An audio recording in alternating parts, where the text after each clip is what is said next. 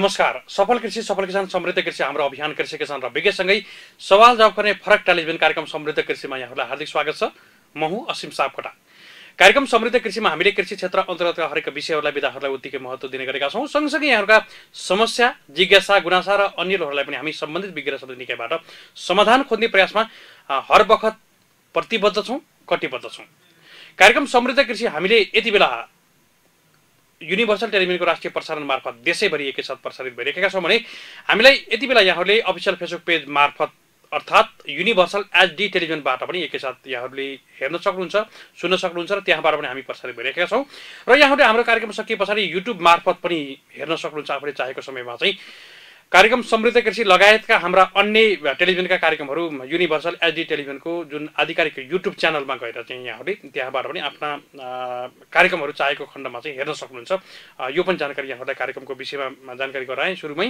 र आज हामीले चाडपर्व नजिकै गरेको बेस त छँदै नै छ। हामीले दसैँ पर्वलाई अझै नजिक नजिक नजिक ल्याइराखेका छौँ र हामी यो सङ्घारमा रहेका छौँ। हामीले दसैँको विशेष कुराहरू दसैँको महिमाका कुराहरू पनि हामीले गरि पनि राखेका छौँ। सँगसँगै हामीले आजको श्रृङ्खलामा चाहिँ रैथाने बालीहरूको प्रबन्धनका कुराहरू गर्छौँ हुन त चाडपर्व केन्द्रित हुँदै गर्दा हाम्रा विभिन्न खालका रैथाने चिजहरूको चर्चा अलिक बढी पनि आउँछ।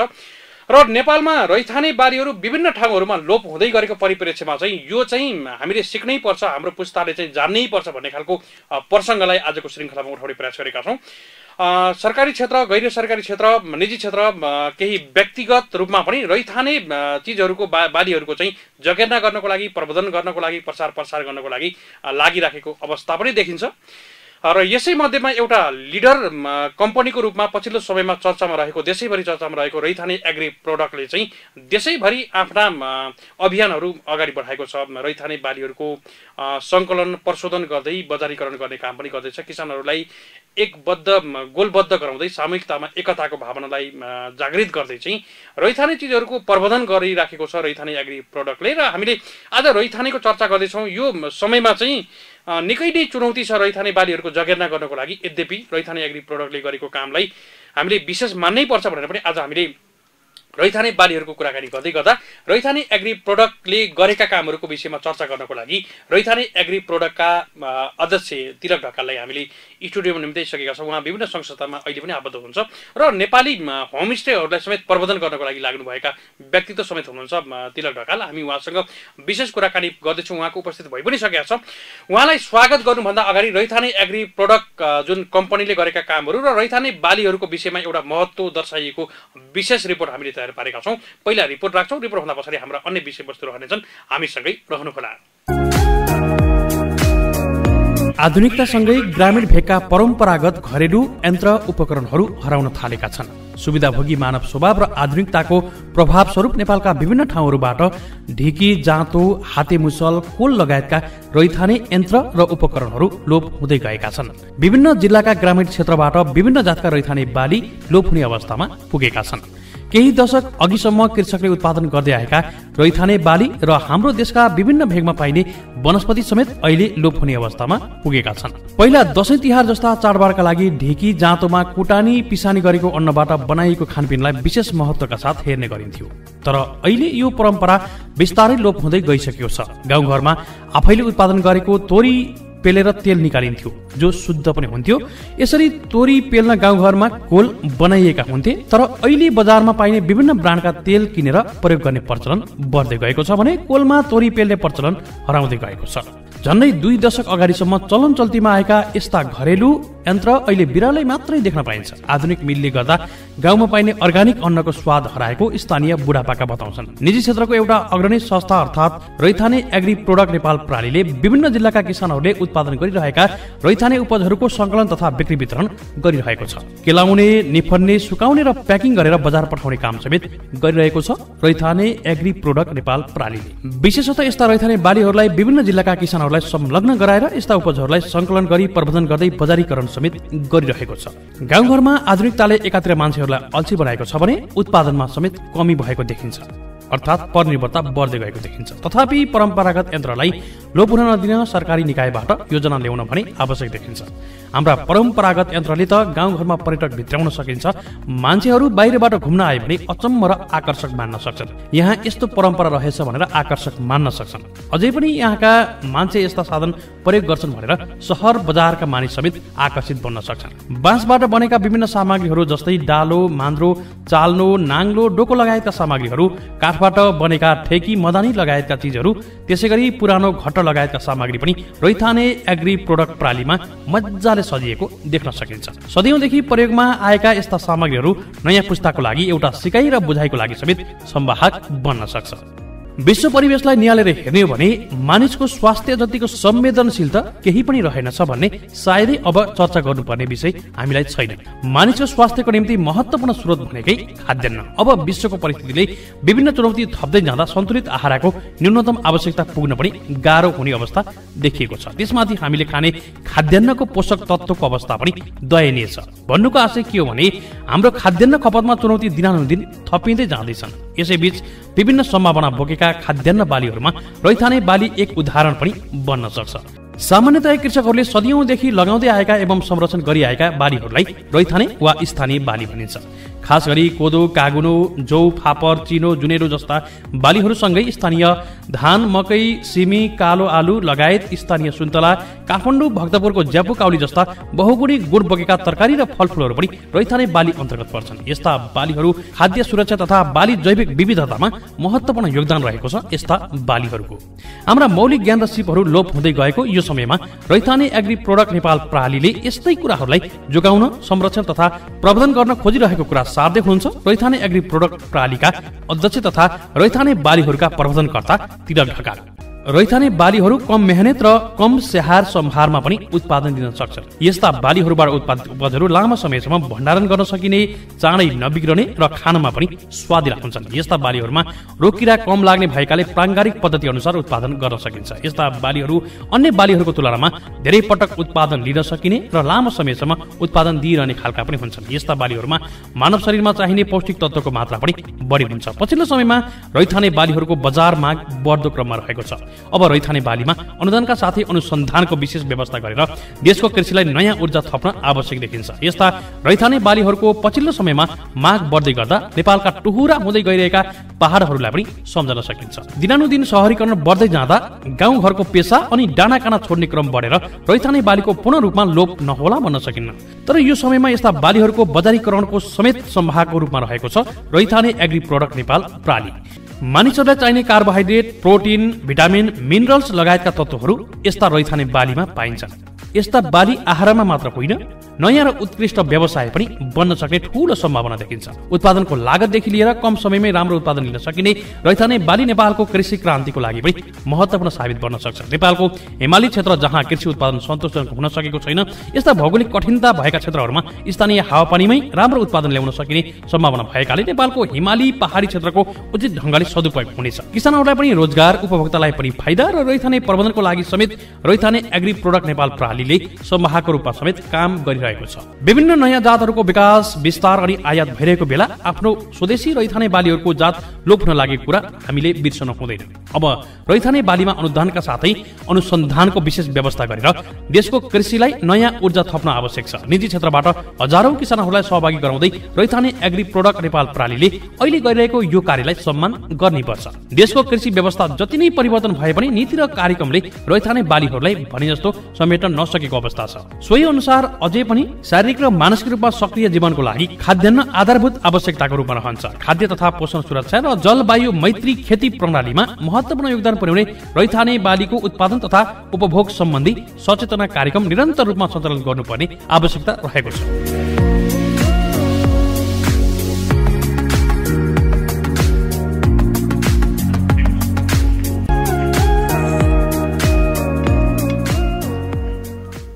हजुर हामीले रैथाने बालीको महत्त्व दर्शाउँदै थियौँ रिपोर्टमा र हामीले यही नै विषयमा छलफल गर्नको लागि हामीले अगाडि पनि भनिसकेका छौँ। रैथाने एग्री प्रडक्टका अध्यक्ष तिलक ढकाल उहाँ विभिन्न संस्थामा समेत आबद्ध हुनुहुन्छ र यो अभियानमा लाग्नु भएको छ। हामी उहाँलाई स्वागत गर्छौँ। तिलक सर नमस्कार यहाँलाई स्वागत छ। नमस्कार। सर आराम हुनुहुन्छ? एकदम ठिक अहिले व्यस्तता केमा छ यहाँको होइन विशेष गरेर अब हाम्रो चाडबाड पनि नजिक आइरहेको सन्दर्भ छ। दसैँ नजिक आइसक्यो तिहार आउँदैछ छठ पर्व पनि आउँदैछ। र यो अवधिमा चाहिँ विशेष गरेर जुम्लाको स्याउ काठमाडौँवासीलाई किन नखुवाउने? त्यसपछि भोजपुरको अगबरे खोर्सानी चाहिँ काठमाडौँवासीलाई किन नखुवाउने? रसुवाको ठुलो स्याफ्रुको चाहिँ स्थानीय आलु यहाँको समुदायलाई किन नखुवाउने? त्यसपछि काला नमक धानको चामल किन नखुवाउने भन्ने सन्दर्भमा चाहिँ यो विशेष गरेर दसैँ नजिकको सन्दर्भमा चाहिँ यस्ता रैथाने वस्तुहरू चाहिँ काठमाडौँवासी सहरवासी समुदायहरूमा चाहिँ खुवाउने प्रयासमा लागिरहेका छौँ ल्याउने प्रयासमा लागिरहेका छौँ। त्यसमा अलिकति व्यस्तता अलिकति त्यसमा चाहिँ बढी समय निकै व्यस्त हुन्छ यो विषय अलिक पछाडि जाउँला भने अलिकति होमस्टे कुरा पनि जोड्न चाहेँ। अगाडि पनि मैले प्रेसमा थोरै जोडेको थिएँ।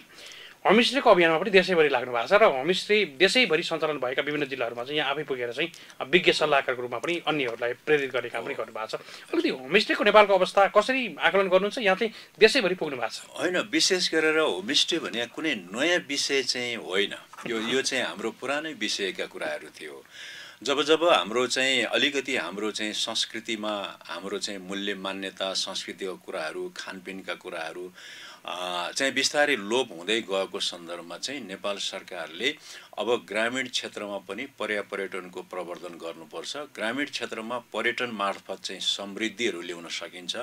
सहरी क्षेत्रमा पनि समृद्धि ल्याउन सकिन्छ। किन भन्दाखेरि हाम्रो मौलिक कला छ हाम्रो मौलिक संस्कृति छ म हाम्रो मौलिक खानपिन छ हाम्रो मौलिकता पनि छ र हाम्रो त्यही अनुसारको चाहिँ हामीले स्वागत गर्ने बानी छ सत्कार गर्ने बानी छ।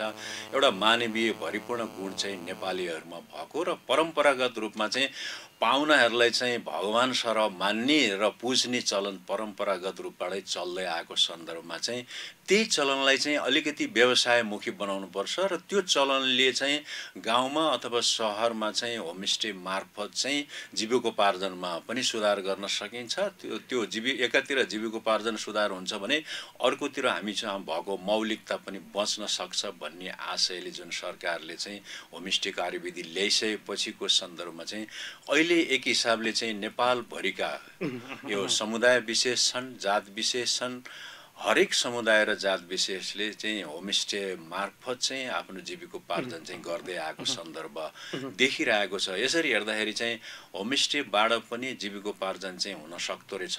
प्रकृतिहरूलाई जोगाउन सकिँदो रहेछ। मौलिकता जोगाउन सकिने रहेछ भनेर के हिमाल के पहाड के तराई के पूर्व के पश्चिम सबै किसिमका सबै समुदाय चाहिँ यसप्रति चाहिँ आकर्षित हुँदै गएको चाहिँ हामीले चाहिँ पाएको छु मैले चाहिँ पाएको छु। निकै महत्त्वपूर्ण विषय होमस्टेबाट पनि समृद्ध आर्जन गर्न सकिन्छ भन्ने खालको सन्देश साकार पार्नको लागि यहाँहरू अभियानमा जोडिनु भएको छ। र अहिले होमस्टे व्यवसायीहरू व्यावसायिकै रूपमा अगाडि बढाउनु भएको छ। एउटा विभिन्न कुरा रहन्छन् त्यहाँको कला कौशलका कुराहरू त्यहाँका स्थानीय उपजहरूको जस्तो हामी बालीको कुराकानी गर्दा रैथाने बालीहरूको कुरा पनि आउँछ। त्यहाँको स्पेसल परिकारका कुरा पनि आउलान्। अन्य अन्य कुरा धेरै छन्। यो अहिले यो माहौलमा यहाँ रम्दै गर्दा चाहिँ देशैभरिको विभिन्न विविधतामा पनि रम्नु भएको छ यहाँ। एकदम एकदम होमस्टे भन्नु नै विविधता हो। किन भन्दाखेरि नेपालमा अहिले समुदाय हेर्ने हो भने हामीसँग एक सय पच्चिस जात जति छ। करिब चाहिँ एक एक सय तेइस भाषाभाषी छ। एक सय तेइस भाषाभाषीका नेपालीहरू बस्नुहुन्छ एक सय पच्चिस जात जति अहिले एक सय उन्तिसका कुराहरू आइरहेछ। भनेपछि यसरी हेर्ने हो भने त एक किसिमले नेपालमा त फुलबारी जस्तो छ। यो फुलबारीका आफ्नै खानपिन छन् आफ्नै भाषा छ आफ्नै शैली छ आफ्नै वेशभूषा छ। यो त रङ्गी चङ्गी फुलबारी जस्तो छ कि हाम्रो देश। त्यसले गर्दाखेरि चाहिँ यो मार्फत पनि समृद्धि आउन सक्छ र आइरहेको पनि छ। जुन अहिले जुन लहरको रूपमा आइरहेको सन्दर्भ छ अहिले बिस्तारै यो चाहिँ हाम्रा रैथानेपनहरू हराउँदै गएको सन्दर्भमा चाहिँ होमस्टे मार्फत पनि यो हाम्रा रैथानेपनहरू जोगाउन सकिन्छ रैथाने बालीहरू संरक्षण गर्न सकिन्छ प्रवर्धन गर्न सकिन्छ। रैथाने हाम्रा सिपहरू थिए हाम्रा डोका थिए डाला थिए नाङ्ला थिए कुचाहरू बन्थे ती हाम्रो होमस्टे मार्फत पनि प्रवर्धन गर्न सकिन्छ। त्यसपछि हाम्रा रैथाने प्रविधिहरू जुन मौलिक प्रविधिहरू थियो त्यो पनि चाहिँ जोगाउन सकिन्छ भनेपछि एकातिर होमस्टे भन्ने खाना खाने मात्रै ठाउँ होइन। मात्रै चाहिँ त्यहाँ गएर लोकल खानेकुराहरू पाइन्छ भन्ने मात्रै होइन कि। त्यसले एकातिर चाहिँ संस्कृतिको पाटोलाई उजागर मद्दत गरेको छ भने अर्कोतिर चाहिँ प्रकृतिलाई पनि संरक्षण गर्ने र त्यसलाई चाहिँ अगाडि ल्याउने काममा सँगसँगै गरेका छ र अर्कोतर्फ चाहिँ यसले चाहिँ स्थानीय स्तरमै स्वरोजगार सिर्जना गर्नलाई चाहिँ मद्दत पुगेका कारणले गर्दाखेरि। यो तिन चारवटा फाइदाको कारणले गर्दाखेरि चाहिँ एउटा चाहिँ लहरको रूपमा आएको छ र यसले चाहिँ विशेष गरेर मैले अहिले भन्नुपर्दा चाहिँ यो प्रकृति संरक्षणको पाटो त आफ्नै ठाउँमा छ। त्यसपछि हाम्रो यसले चाहिँ खास गरी चाहिँ अहिले होमस्टे भन्ने बित्तिकै मान्छेको बुझाइ के छ भन्दा त्यहाँ लोकल खानेकुराहरू खान पाइन्छ भन्ने जुन बुझाइ छ साझा बुझाइ छ वास्तवमा हो पनि। यसले यदि नेपालको चाहिँ रैथाने बालीका कुराहरू गर्ने हो रैथाने खानाका कुराहरू गर्ने भने र खाना पनि पर्यटन हो भन्ने हिसाबले सन्देशलाई अगाडि लाने हो भने एउटा उपयुक्त माध्यम भने चाहिँ नेपालको चाहिँ रै हाम्रो होमस्टेहरू हुनसक्छ जसले चाहिँ हाम्रो लोप हुन लागेको अनदीहरू जोगाउन सक्छ लोप हुन लागेको घैया धानहरू लोप जोगाउन सक्छ लोभै हुन लागेका हाम्रो चाहिँ लोकल कुखुराहरू जोगाउन सकिन्छ।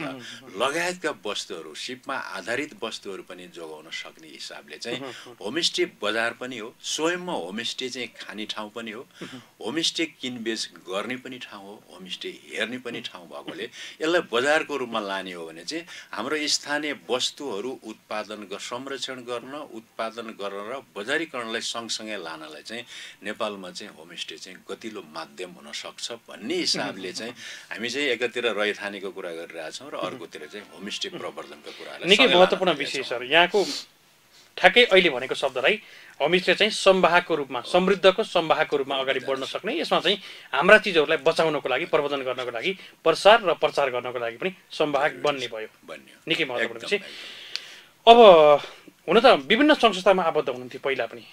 यहाँ चाहिँ र पछिल्लो समयमा केही वर्षदेखि अलिकति ब्रोड रूपमा चाहिँ केही सामूहिकतामा एकताको भावना विस्तार गर्ने र देशैभरि रहेका किसानहरूलाई चाहिँ समृद्ध त्यो पनि हाम्रा रैथाने चिजहरूलाई जोगाउँदै चाहिँ यहाँनिर चाहिँ समृद्ध छ है भन्ने खालको भावनालाई अथवा चाहिँ यो सन्देशलाई साकार पार्नको लागि अगाडि बढ्नु भएको छ। यो काम आफैमा चुनौतीपूर्ण र अवसर पनि नेपालमा अत्याधिक छ। अहिले कसरी काम गर्दै हुनुहुन्छ? होइन तपाईँले अघि नै एउटा चाहिँ पृष्ठभूमिमा एउटा चाहिँ रिपोर्टमा पनि देखाइसक्नु भएको छ। अब चुनौती त हरेक क्षेत्रमा हरेक काममा चुनौती नभए संसारमा काम केही पनि छैन। हामीले खोज्ने भने चाहिँ चुनौतीभित्र अवसरहरू खोज्नुपर्छ होइन? ज्यादा चुनौती बढी अझै बढी अवसर छ। यो रैथाने जुन जुन अहिले हामीले गरिरहेको कुरो चाहिँ रैथाने बालीहरूको संरक्षण गर्न जरुरी छ। हाम्रा रैथाने सिपमा आधारित हस्तकलाहरू संरक्षण हुन जरुरी छ।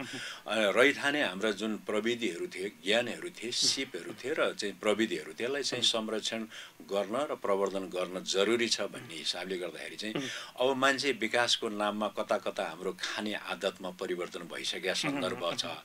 खेती गर्ने प्रक्रियाका कुराहरूमा आदत चाहिँ परिवर्तन भइसकेका अवस्था छ। अलिकति पढे लेखेका मान्छेहरू जम्मै युरोप अमेरिका जाने। त्यसपछि अलिकति बल भएका मा हाम्रा युवा साथीहरू जम्मै खाडी मुलुकमा जाने जुन अहिलेको जुन ट्रेन्ड छ यसमा चाहिँ हामीले रैधानीका कुराहरू गर्दाखेरि कता कता मान्छेलाई चाहिँ नमिले हो कि नमिले हो कि भन्ने लाग्दो पनि होला सायद लाग्दो पनि हुनसक्छ। तर कुरो के हो भन्दाखेरि हाम्रो सिप रहेन। हाम्रो प्रविधि रहेन हाम्रो बिउ नै रहेन भने त अनि हामी कसरी बाँच्छौँ त? बाँच्न त सक्दैनौँ नि। त्यसले गर्दाखेरि चाहिँ जुन हामीले अहिले एउटा अभियानकै रूपमा यो व्यवसाय पनि हो यो। हामीले गर्न खोइ गरिरहेको काम चाहिँ व्यवसाय पनि हो। यसलाई अभियानको रूपमा लान सकेको खण्डमा मात्रै यसले चाहिँ सार्थकता पाउन सक्छ। किन भन्दा यो एउटा व्यक्तिले अथवा एउटा संस्थाले मात्रै गर्ने विषय होइन। यो त राज्यले यो राज्यले। गर्ने विषय भएकोले गर्दाखेरि चाहिँ हामी निजी क्षेत्रको पनि दायित्व छ। कहिलेकाहीँ के हुन्छ भन्दा सरकारले गरेन सरकारले गरेन सरकारले गरेन भन्नु मात्रै भनिराख्नु भन्दा हामीले के गर्ने त? हामी पनि हामी पनि एउटै राज्यको एउटा पाटो त हौ नि निजी क्षेत्र पनि त हो नि त। अथवा निजी क्षेत्र सामूहिक रूपमा नभए पनि व्यक्ति पनि राज्यको त एउटा अभिन्न अङ्ग हो नि त। त्यो हिसाबले गर्दाखेरि चाहिँ के सरकार के निजी क्षेत्र के व्यक्ति के समूह सबै नै यो हाम्रा वस्तुहरू हाम्रा चिजहरू जोगाउन लागेन भने कुनै दिन बहुराष्ट्रिय कम्पनीले बिउ दिएन भने के हुन्छ त हामी?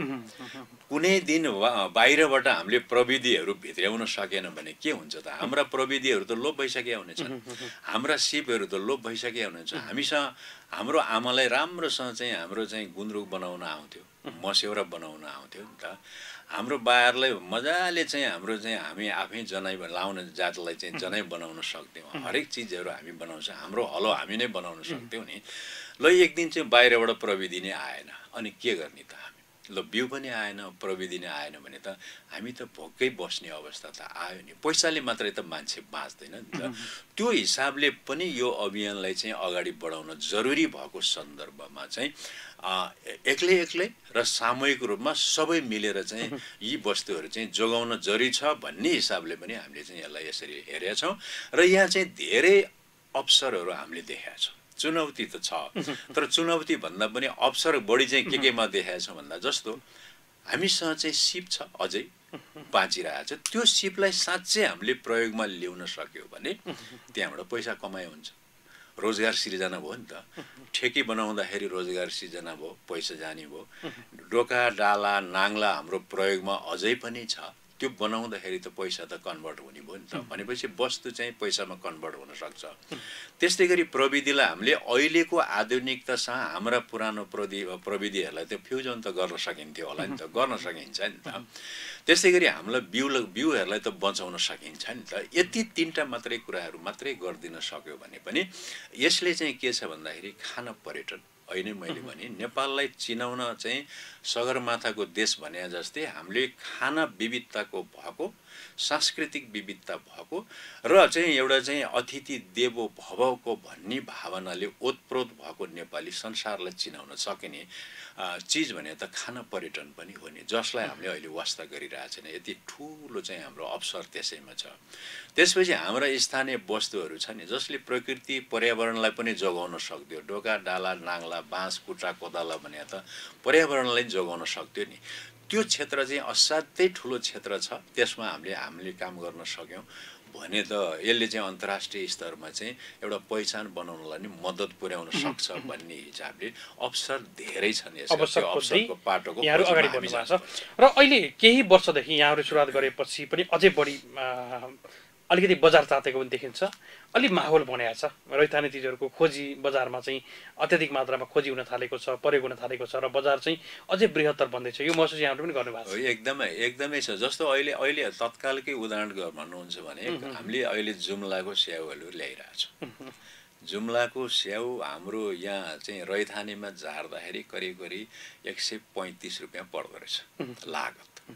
किसानलाई दिएको ढुवानी गर्दाखेरि सबै जोड्दाखेरि बिग्रिएको पर्सेन्टेजहरू सबै हिसाब गर्दा पैँतिस रहेछ हामीले एक सय साठीमा दिएका छौँ।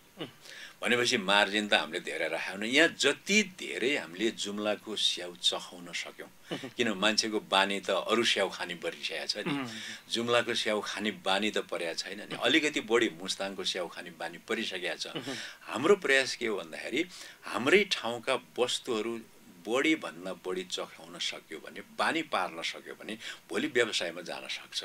अहिले त बानी पनि पारिरहेछौँ त्यो बानी पार्ने सन्दर्भमा चाहिँ अलिकति त्यो अनुभव चाहिँ भइरहेछ। यो बजारमा हामीले अलिकति एक सय साठीमा दिँदाखेरि काहीँ पनि एक सय साठी काठमाडौँमा त त्यो जुम्लाको स्याउ पाइँदैन रैथानेमा मात्रै पाइन्छ नि त।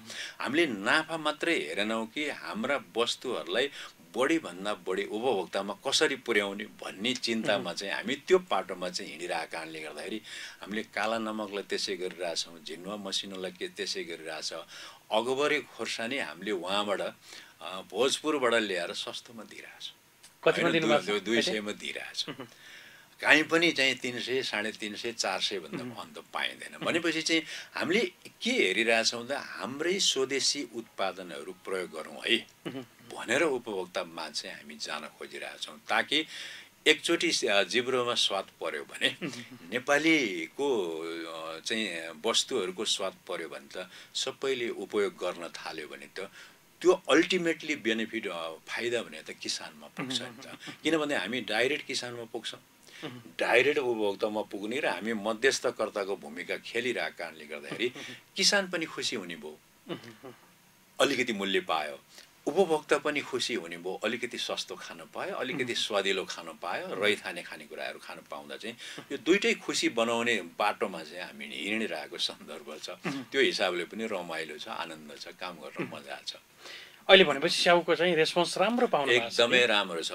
जुम्लाको स्याउ मिठो रहेछ भन्ने चाहिँ छ। हामी धेरै एकैचोटि लिन सक्दैनौँ। एक लटमा हामी चार सय पाँच सय केजी ल्याउँछ।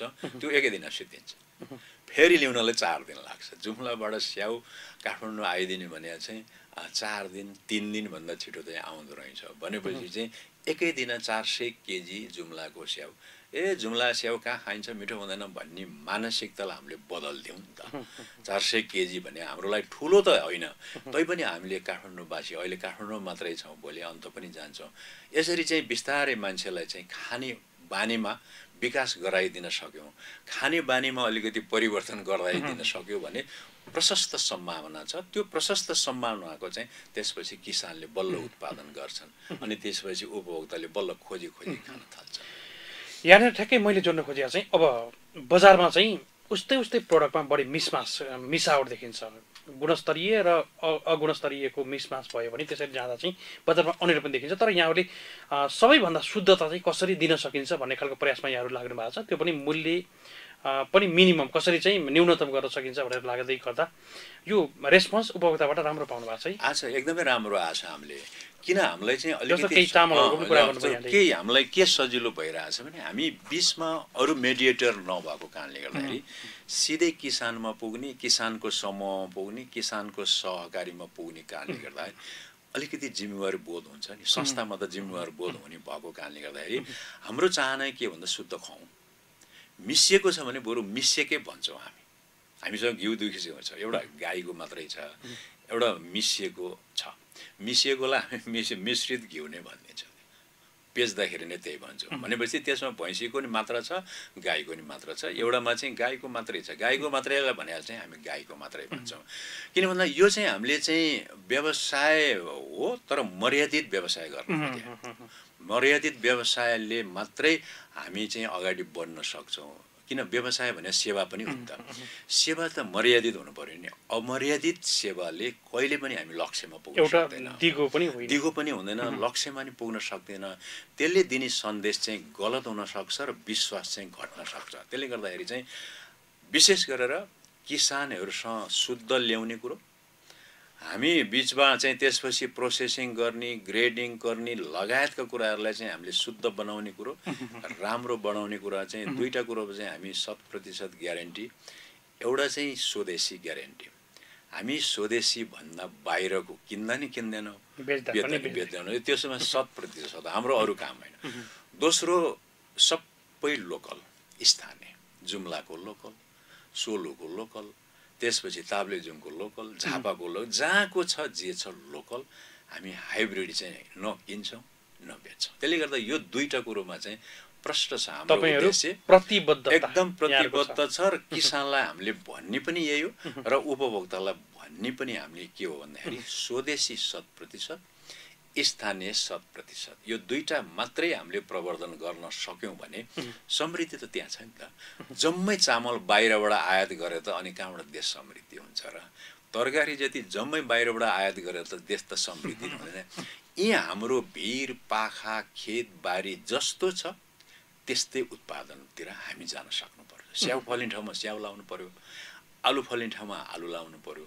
टमाटर फल्ने ठाउँमा टमाटर लाउनु पर्यो। चिनो फल्ने ठाउँमा चिनै लाउनु पर्यो। चिनो फल्ने ठाउँमा म धान खेत गर्छु भनेर त भएन प्रकृतिले दिएको हाम्रो मौसमले दिएको प्रकृतिले दिएको विषयवस्तुमा चाहिँ प्रशस्त सम्भावनाहरू छ। किन?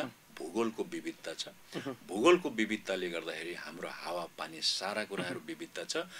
अनि त्यसले गर्दाखेरि हाम्रो माटोमा विविधता छ। त्यो माटोले दिने चिजहरू पनि विविधता भएको कारणले गर्दाखेरि चाहिँ हामीले सबै बाहिरको चिज ल्या ल्याएर बेच्ने हो भने त हामीले त उत्पादनलाई त कहिले प्राथमिकता दिने? जबसम्म हामीले हाम्रो देशको उत्पादनलाई प्राथमिकता दिँदैनौँ न त्यसपछि चाहिँ देश समृद्धि भन्ने चाहिँ गफ मात्रै हुन्छ जस्तो लाग्छ। त्यसले गर्दाखेरि हामी हाम्रो तहबाट एउटा निजी स्तरको हाम्रो तहबाट जति सकिन्छ।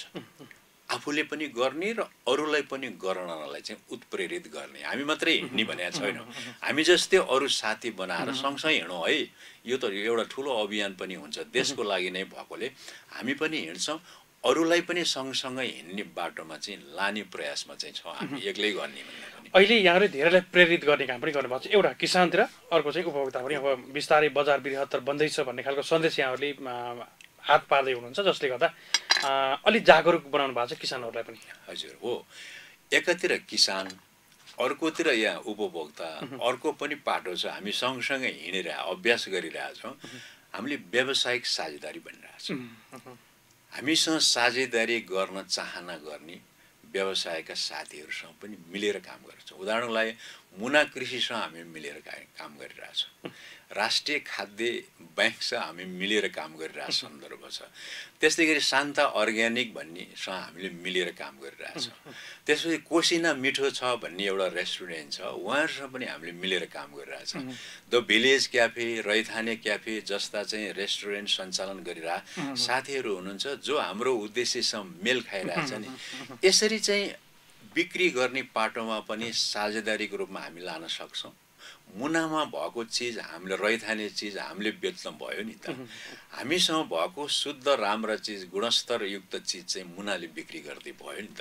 यसरी चाहिँ हामी मात्रै गर्ने है कि सामूहिक रूपमा चाहिँ कृषक समूह उपभोक्ता समूह र व्यावसायिक साझेदारहरू सँगसँगै हिँड्न सक्यो भने त्यसपछि चाहिँ सरकारी निकाय र निजी क्षेत्र चाहिँ सँगसँगै हिँड्न सक्यो भने त हामी लक्ष्यमा त छिटो पुग्न सकिहाल्छौँ नि।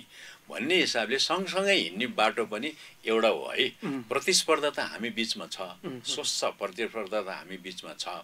तर के भन्दाखेरि एउटै उद्देश्य बोकेका चाहिँ सँगसँगै हिँड्दा चाहिँ अलिक छिटो लक्ष्यमा पुग्नलाई चाहिँ सफल हुन सक्छ। भन्ने हिसाबले खुट्टा तान्ने होइन कि हात तानेर चाहिँ हामी अगाडि बढ्यो भने चाहिँ लक्ष्यमा पुग्न सकिन्छ भन्ने पनि सोच हो चाहिँ वास्तवमा रहिथानेको धेरै सङ्घ संस्थाहरूसँग पनि साझेदारी गरेर अगाडि बढ्नु भएको छ। अब स्थानीय सरकारलाई पनि बेला बेला विभिन्न ठाउँहरूमा पुगेर घचट्याउने काम पनि गर्नुभएको छ यहाँले है? अहिले पछिल्लो गरेका छौँ गरेका छौँ। हामीले स्थानीय सरकारमा पुग्यौँ। अहिले भर्खरै हामीले चाहिँ प्रदेश सरकार कृषि तथा प्रदे बागमती प्रदेश सरकारको कृषि तथा पशुपन्छी मन्त्रालय बाट चाहिँ हामी र उहाँहरू मिलेर चाहिँ यो तेह्रवटा जिल्ला बागमती अन्तर्गतको तेह्रवटा जिल्लामा के के रैथाने बालीहरू छन्? के के सिद्धि? बजारीकरणको अवस्था के छ? उत्पादनको अवस्था के छ त्यसको लागि हामी अध्ययन गर्दैछौँ। तेह्रवटा जिल्लाका किसानहरूलाई भेटेर सहकारीहरूलाई भेटेर स्थानीय सरकारलाई भेटेर चाहिँ एउटा प्रतिवेदन बनाउँदैछ। त्यो प्रतिवेदनको आधारमा आगामी वर्षदेखि स्थानीय सरकारले पनि रैथाने बालीलाई कहाँ के हुन्छ कसरी अगाडि बढ्न सकिन्छ भनेर एउटा चाहिँ उत्पादन योजना सहित अगाडि बढ्नलाई चाहिँ सहकार्य गरिरहेको अवस्था छ। सरकारसँग पनि हामीले सहकारी गरिरहेको अवस्था छ। किन भन्दा यो एक्लै गर्ने विषय नै होइन। यति बृहत विषय छ यो चाहिँ हामी सबै मिलेर सँगसँगै हिँड्ने विषय भएकोले के स्थानीय सरकार के प्रदेश सरकार के सङ्घीय सरकार के निजी क्षेत्र के अन्य सङ्घ संस्था सबै मिलेर चाहिँ अगाडि बढ्न सक्यो भने मात्रै हाम्रो रैथाने वस्तुहरू बाँच्न सक्छ ज्ञानहरू बाँच्न सक्छ सिपहरू बाँच्न सक्छ भन्ने सोच हो यसको निकै महत्त्वपूर्ण चाहिँ यहाँहरूको अभियान अगाडि बढ्दैछ। अब हामी निष्कर्षतिर जान्छौँ। अन्त्यमन्दै खण्डमा पनि छौँ। अझै केही समय चाहिँ छ। अब अहिले यहाँहरूले करिब करिब तिन वर्ष पुर्याउनु भएको छ यहाँको संस्थागत रूपमा। तिन वर्षको अन्तराललाई चाहिँ कसरी साट्नुहुन्छ नि? यहाँहरू अब तिन वर्ष तिन वर्षको अवधि फर्केर हेर्दाखेरि चाहिँ यो तिन वर्षमा हामी करिब त्रिचालिस जिल्लाका नौ हजारभन्दा बढी किसानका एक सय पचास किसिमका वस्तुहरू हामी कहाँ आइपुगेका छ। पैँसठीभन्दा बढी सहकारी समूहहरू हाम्रो उत्पादनका साझेदारीहरू बन्नु भएको छ। शान्ता अर्ग्यानिक लगायत हाम्रो चाहिँ मुना कृषि लगायत बत्तिसवटा चाहिँ व्यावसायिक साझेदारीहरूसँग हामीले सम्झौता गरिसकेको अवस्था छ बिक्री वितरणको लागि चाहिँ। भनेपछि समग्र हेर्दाखेरि चाहिँ यो तिन वर्षको हामीलाई के सिकाइ भयो भन्दाखेरि अब अझै हिमाल पहाड र चुरेसम्म रैथाने कृषि उपजहरू बिउहरू अझै बाँचेका छन्।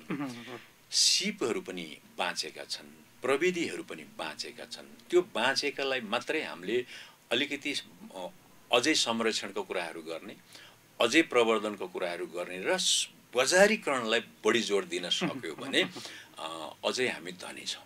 कृषि जैव विविधतामा अझै धनी छौँ। सिपको विविधतामा पनि हामी धनी छौँ।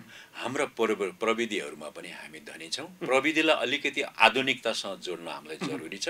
हाम्रो सिपलाई पनि अलिकति आधुनिकतासम्म जोड्न सक्यो भने त्यसले चाहिँ अलिकति मूल्यलाई अलि राम्रो गर्न सक्छौँ। कृषिलाई त उत्पादनमै हामी जानुपर्छ। त्यसरी जान सक्ने हो भने र त्यसपछि अहिले समग्र हाम्रो यो तिन वर्षको सिकाइ के रह्यो भन्दाखेरि जति पनि रैथाने बालीहरू बचाइदिएको सिपहरू बचाइदिएको र प्रविधिहरू बचाइदिने चाहिँ साना किसानहरू हुनुहुँदो रहेछ। साना किसानमा मात्रै रहेछ। अलिकति दूर दराजमा रहेछ। अलिकति बाटोघाटो नपुगेका ठाउँका मान्छे समुदायले यो कामहरू जोगाइराख्नु भएको रहेछ। भनेपछि समग्रमा हेर्दाखेरि चाहिँ एउटा सन्तोषजनकको हिसाबले खाइदिने मान्छेको सङ्ख्या पनि बढ्या जस्तो देखिन्छ। यसका शुभचिन्तकहरू पनि बढ्याहरू देखिन्छ। त्यसपछि उत्पादन गर्छौँ साँच्चै बजारको ग्यारेन्टी भयो भने उत्पादन गर्छौँ भन्ने मान्छे पनि बढ्या देखिन्छ। साँच्चै रैथाने ल्याउनु भने हामी पनि बिक्री गर्नलाई सहयोग भूमिका खेल्छौँ है। भन्ने साथीहरू पनि समग्र रूपमा चाहिँ सबै सेक्टरले चाहिँ सकारात्मक हिसाबले भूमिका हामीलाई सहयोगी भूमिका खेलिदिनु भएको देख्दा चाहिँ हामी उत्साहित छौँ। यो तिन वर्षको अवधि चाहिँ उत्साहित छौँ र सम्भव छ र गर्नु पर्ने पर्ने छ। गर्नै पनि पर्ने छ जस्तोसुकै कठिन परिस्थितिमा पनि यसलाई हामीले अगाडि ल्याउनु पनि पर्ने छ। त्यो हिसाबले गर्दाखेरि चाहिँ अवसर पनि छ। जसरी हुन्छ यसलाई गर्न एउटा चाहिँ लक्ष्यमा पुर्याउनु पनि जरुरी छ। हामी राज्यलाई त्यही हिसाबले गर्छ गर्छौँ। यो जोगाउने काम पनि हाम्रै पुस्ताले नै गर्नु आवश्यक छ। यहाँले। कर्तव्य पनि कुरा सम्झाउने पनि हो एकदमै हो एकदमै हो। हाम्रा चाहिँ अहिलेको जेनेरेसन अब विदेशै गएर बसे पनि कम्तीमा नि मेरो देशको ठेकी यस्तो थियो। मेरो देशमा चाहिँ ढिकी यसरी चामल बन्थ्यो।